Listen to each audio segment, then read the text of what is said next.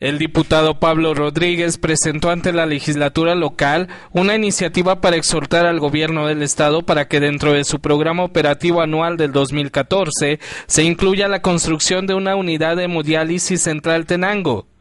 Cerca de 15 mil pacientes zacatecanos se encuentran en tratamiento para la diabetes mellitus de los cuales entre el 40 o 50% de los pacientes desconocen su padecimiento durante varios años. En la región de Tlatenango, al igual que en todo el resto de nuestro estado, la prevalencia de enfermos renales crónicos que tienen que ser atendidos mediante tratamientos de hemodiálisis es significativa. Sin embargo, al no, no, contar con una unidad especializada capaz de proporcionarles este tipo de tratamiento, obliga a los pacientes a tratarse en medios privados en Tlatenango o Jerez, como lugares más cercanos, lo que les representa un gasto promedio de hasta 1.200 pesos por sesión, 3.600 pesos por semana,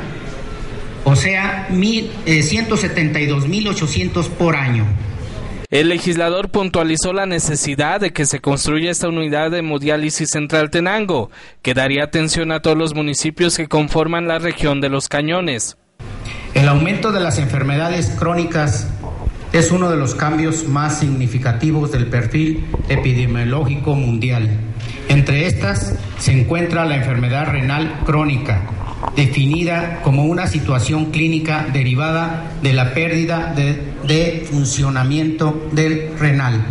permanente con carácter progresivo, que puede evolucionar a enfermedad renal crónica terminal, constituyéndose así un problema de salud pública. La enfermedad renal crónica es una de las condiciones de salud más devastadora,